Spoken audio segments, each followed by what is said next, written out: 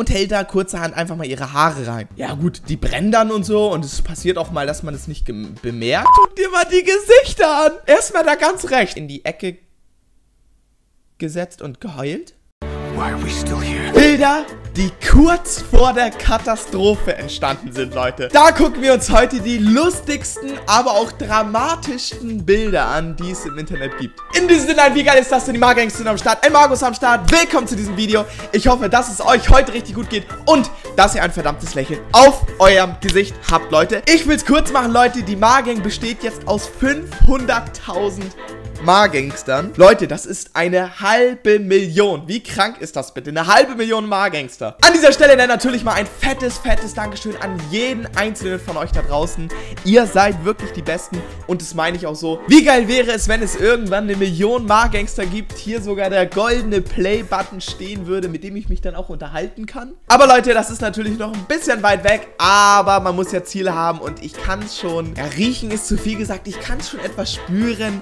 Die Mar Margang wird es bis dahin locker schaffen. Also Leute, ein fettes Dankeschön an jeden von euch für 500.000 Abonnenten. Liebe geht auf jeden Fall raus an euch. Grüße gehen raus an die Margangster. Ich will Regenbögen essen. Emily099 und an Panda Geil Zock. Den ersten Kommentar hat The Lucky Loser geschrieben. Wenn du im nächsten Video auch gegrüßt werden willst, einfach Kommentar schreiben oder im nächsten Video der allererste Kommentar. Wir springen nun ins erste Foto und sehen die gute Caitlin, die auf diesem Foto oder in diesem Moment gedacht hat, dass die Welt noch in Ordnung wäre.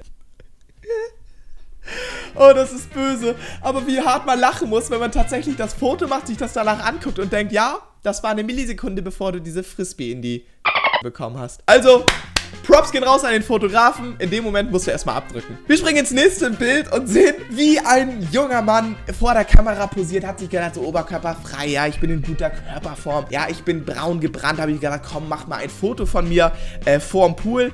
Und wir sehen aber im Hintergrund, wie die Dame an dieser Kante steht und gerade schnurstracks auf dem Weg in den Pool ist. Und zwar nicht beabsichtigt, sondern mit Klamotten und sie macht den Baumstamm. Sie macht, den, sie macht in diesem Fall den absoluten Baumstamm, Leute. Man kann sehen, wie sie am Rand steht und rückwärts runterfällt, Leute. An dieser Stelle, gute Fahrt und ich wünsche dir eine aufregende Schwimmerfahrung. Ich weiß nicht, wie es passiert ist. Ich glaube, sie hat sich unterhalten, war etwas in das Gespräch vertieft, blieb an der Kante stehen und hat sich einfach mal gedacht, Baumstamm fällt. Okay, wir springen ins nächste Foto. Wir sehen eine Menge verkrampfter Gesichter, weil ein Baseball direkt auf dem Weg ins Publikum ist. Die haben natürlich alle gesehen, oh, der Baseball kommt direkt auf uns zu. Je, keiner weiß... wer getroffen wird.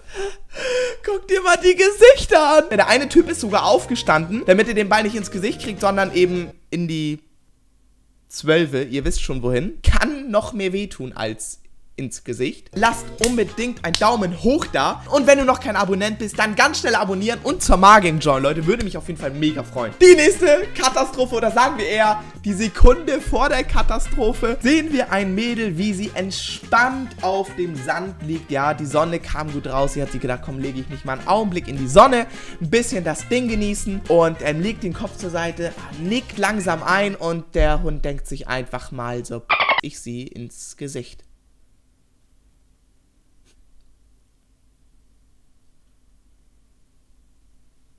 Ich glaube, dieses Sonnen wird sie so schnell nicht mehr vergessen. Und der Hund. Ich stelle mir einfach mal so gerade vor, was ging in dem Hund vor? Der sieht da so sein Härchen oder irgendeine andere Frau und denkt sich einfach mal, wo kann ich hier hinpinkeln? Ja, wir haben hier ganz viel Rasen, ganz viel Sand überall. Nein, ich pinkel mal direkt auf sie drauf. Also der Hund erkennt doch, dass das eine Frau ist. Also Hund, Hast du gut gemacht. Wir springen ins nächste Bild und sehen hier, ah, die gute, gute Torte. Die gute Torte. Irgendwie ein Geburtstag oder sowas. Sie hat sich gedacht, oh, ich saß drei Stunden an diesem Kuchen oder an dieser Torte. Und der Typ denkt sich einfach mal mit seiner geilen Cola in der Hand, oh, gebe ich ihr mal einen Klaps auf den Po. Sieht zumindest so aus. Ach nee, man sieht die Hand auf ihrer rechten Schulter. Ich weiß nicht, was er davor hat. Oder ob er sie einfach mal so an der Schulter mal so einen kleinen Stups gegeben hat, weil er es amüsant findet. Ich weiß es nicht, keine Ahnung. Auf jeden Fall fliegt die gute Torte und ähm, ich glaube, sie ist danach nicht mehr essbar. Was bräuchte man dann zum Essen? Genau, vielleicht irgendetwas anderes und vielleicht auch etwas, was gesünder ist. Und da kommen wir auch schon zum Thema, Leute. Ich würde euch gerne mal ein Produkt vorstellen, welches ich selber getestet habe und wirklich klasse finde. Das Ding heißt Y-Food. Es handelt sich hier, wie man sieht, um einen Drink, einen Shake und Dieser Shake ersetzt eine vollwertige Mahlzeit. Und ich, wie ihr wisst, wohne ja hier alleine und habe nicht immer Zeit, irgendwas Leckeres zu kochen und auch nicht Lust äh, immer auf Fastfood. Ihr wisst ja, dass ich auch gerne Fitness mache, ins Fitnessstudio gehe und da ernähre ich mich besonders gerne gesund. Und wenn ich mal eine gesunde Alternative brauche, was schnell geht, dann kann man zu diesem Drink hier greifen, Leute. Das Ding hat wirklich unheimlich viele Inhaltsstoffe. Ich zeige euch das einfach einmal. Hier könnt ihr diese ganze Liste sehen. Wir haben hier drinnen wirklich Omega-Fettsäuren, Proteine, Kohlenhydrate, Ballaststoffe und Vitamine und Minerale. Also deinem Körper wird mit einem Shake geliefert, was er so braucht. Ich habe jetzt hier die Geschmacksrichtung Schokolade, Vanille und Kaffee am Start. Und ich muss sagen, ich mag alle drei Geschmacksrichtungen sehr gerne. Das Coole ist auch, dass sie ungeöffnet wirklich äh, bei Zimmertemperatur haltbar sind. Also ihr müsst sie nicht im Kühlschrank haben, sondern könnt sie einfach im Zimmer rumstehen haben. Und Leute, natürlich ist es nicht das Ziel, festes Essen irgendwie zu ersetzen, sondern einfach zu Fastfood eine Alternative zu bieten und sich einfach gesünder und ausgewogener ernähren. Ja, ihr könnt euch ja mal die Website anschauen, Leute. Der Link ist unten in der Beschreibung, ganz, ganz oben. Klickt einfach drauf, schaut euch das Ganze einfach mal an. Und das Coolste ist, Leute, dass ihr sogar einen Rabattcode von mir kriegt. Und zwar, wenn ihr Magen10 eingibt bei der Bestellung, bekommt ihr 10% auf die gesamte Bestellung. Ey, wie geil ist das denn? Also Leute, Magen10 eingeben bei der Bestellung, ihr kriegt 10%. Schaut einfach mal auf die Website und äh, deswegen, Freunde, geht's jetzt mit dem Video weiter. Sorry, dass ich lache. Ich hoffe, dass ihr nichts passiert ist, aber ich kann mir nicht vorstellen, dass da nichts passiert ist, weil ganz ehrlich, sie fliegt mit dem Bauch zum Boden, also mit dem Gesicht zum Boden aus ungefähr anderthalb, zwei Meter Höhe oder vielleicht auch ein bisschen mehr, Leute. Ich bin kein Experte für Meterangaben. 0 bis 8 Meter, sage ich so in dem Dreh und ist schnurstracks auf dem Weg zum Boden, weil ich vermute nicht, dass sie fliegen kann oder ich vermute nicht, dass sie die Schwerkraft außer Kraft setzen kann. Ja, das ist richtig. Deswegen wünsche ich ihr auf jeden Fall einen guten Flug. Ich hoffe, dass hier nichts passiert ist. Es geht ins nächste Bild und zwar sehen wir eine coole Party. Alle haben gute... Aber was sind das für Gesichtsausdrücke? Also sorry, das ist ein, das ist ein Schnappschuss. Da guckt man ja mal komisch, aber guckt euch mal die Gesichtsausdrücke. Also alle total besoffen, habe ich das Gefühl.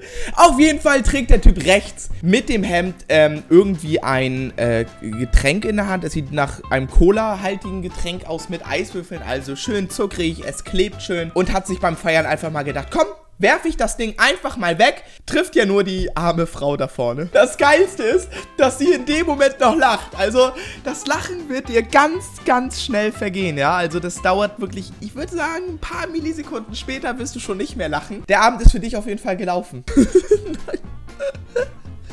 Was? Was? Oh Mann, wer kennt's nicht? Sie rechts guckt in die Kamera, hat sich so gedacht, oh cool, äh, wir machen jetzt ein Selfie oder irgendjemand fotografiert die. Und ja, hat sich gedacht, oh, guck ich mal da rein. Hat natürlich rechts neben sich so eine Kerze oder ein Teelicht und hält da kurzerhand einfach mal ihre Haare rein. Ja gut, die brennen dann und so und es passiert auch mal, dass man es nicht bemerkt und...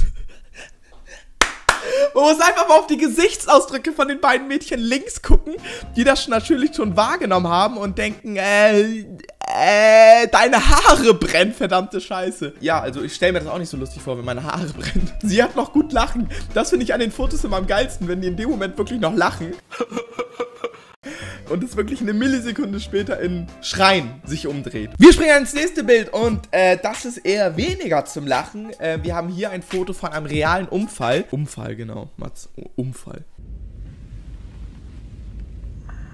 Ähm, ich weiß jetzt nicht genau, welcher Flug das war. Auf jeden Fall ist es ein realer Unfall und da gibt es sogar dieses Video von. Das ist jetzt hier ein Schnappschuss davon. Der ist wirklich abgestürzt und mit dem linken Flügel hat er sogar das gelbe Auto da vorne äh, mitgenommen und äh, auch ein Stück von der Brücke und so weiter. Ähm, war wirklich ein dramatisches Ding. Ich weiß nicht, was ich über den Typen im Auto denken soll. Ich weiß es nicht. Soll ich eher denken, oh, was ein Arschloch? Oder soll ich denken, ah, ist schon lustig. Ist schon lustig. Also ich habe da auch eigene Erfahrungen mitgemacht. Und zwar bin ich auch mal bei mir in meinem alten Dorf, bin ich mal so am, auf dem Bürgersteig längs gegangen. Es hat mega geregnet. Und auf jeden Fall war da eine mega fette Pfütze, weil es viel geregnet hat. Und hinter mir kam ein Auto. Und ähm, der hat tatsächlich, ich weiß nicht, ob er es absichtlich gemacht hat. Ich glaube nicht. Aber er hat überhaupt gar nicht dran gedacht. Ist auf jeden Fall mit gut Tempo durch die Pfütze gefahren. Es war wirklich richtig tief. Also bestimmt so tief. Da mit dem Reifen durchgefetzt. Ihr könnt euch vorstellen, was das für eine Flutwelle war. Also ich war danach wirklich klitschenass. Klitschenass. Und der Typ ist einfach weitergefahren. Also ich denke, er hat es nicht absichtlich gemacht, aber ich vermute schon, dass er es danach gemerkt hat, aber hat dann so gedacht, so, hm, fahre ich einfach mal weiter. Auf jeden Fall war ich klitschnass und ich war richtig wütend. Also ich fand es nicht lustig, sondern ich war wirklich wütend. Ich habe mich in die Ecke gesetzt und geheult. Why are we still here? Just to suffer. Every night. Nee, Spaß, Leute, ich war wirklich echt genervt davon. In diesem Falle, glaube ich, wären die Mädchen auch eher genervt davon, weil es vor allem ja auch kein sauberes Wasser ist, sondern schon so richtig dreckiges, braunes Wasser. Und der Typ rechts denkt sich mal, komm, drücke ich mal eine Runde aus Gas. Wollen wir die Mädchen mal ein bisschen schreien sehen? Ja, gut, wenn sie jetzt eh auf dem Weg zum Strand sind, dann ist es vielleicht egal, aber ah, ich weiß nicht, ich weiß nicht. Eher ist es fies. Es ist wirklich fies. Aber wie wir sehen, die Flutwelle ist schon auf dem Weg zu denen oder die Spritzer und ähm, es ist äh, eine Sekunde vor der Katastrophe. Ich hoffe, hoffe, das Video hat euch gefallen. Lasst ein Abo da, wenn du noch kein Margangster bist, damit wir noch mehr wachsen, damit wir 600.000 Margangster werden, damit wir eine Million Margangster werden.